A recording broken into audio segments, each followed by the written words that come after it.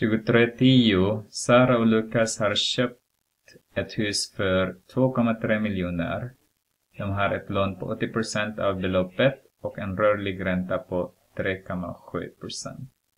Med vilket belopp ökar deras årliga räntekostnad om banken höjer räntesatsen med en halv procentenheter? Ojsan, okej. Okay.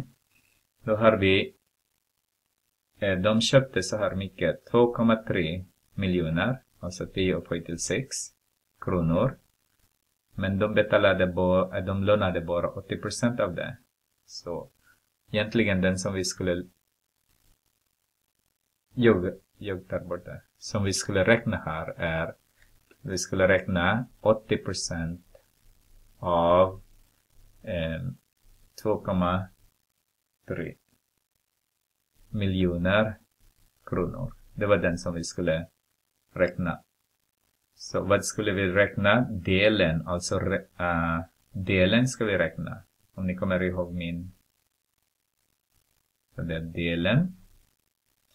Så hela andelen.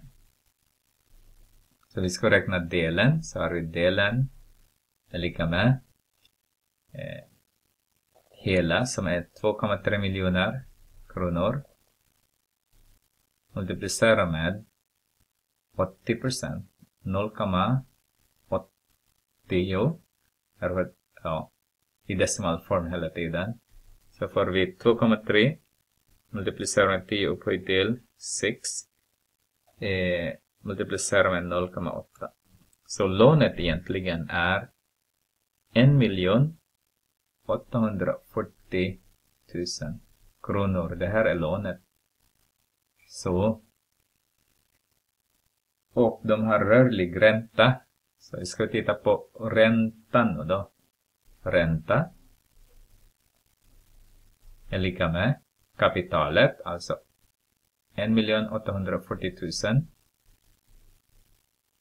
kronor multiplicerar med räntesatsen är 3,7 procent så har vi 3,7 dividerat med 100 så får vi 0,030 0,037. Så 0,037. Så årsräntan blir multiplicerar med 0,037. Årsräntan blir 68 080 kronor. Jag gör så här. Mm. Men vad händer då om man höjer det med eh, halv procentenheter, alltså 3,7 procent adderar med 0,5 procent. Så får vi 4,2 procenten. procent istället. Vad har hänt med mig? Så. Så har vi. Nu är det räntan, nya räntan då, när de har höjt. 1 840 000 kronor multiplicerar med 0,042 istället. Så 1 840 000 dividerar, äh, multiplicerar med 0,042 4,2 ja. Så får jag 77 280 kronor. Med vilket belopp ökar deras årliga? Så har vi om vi läser den idag, 77 280 kronor subtraherar med 68 080. Hoppas att jag gör, har, jag gör rätt där nu då, eller skriver rätt. Subtraherar vi det med 68 080 så får vi 9 200 kronor. Tänk på det att den har ökat bara 0,5 procent enheter, enhet och det ökar så här mycket. Tänk nu en, en procent. Det blir ännu mer.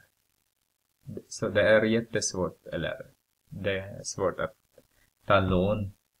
Men vad ska man göra, säger de. Ja. Och man kan låna kanske med mindre eh, belopp istället.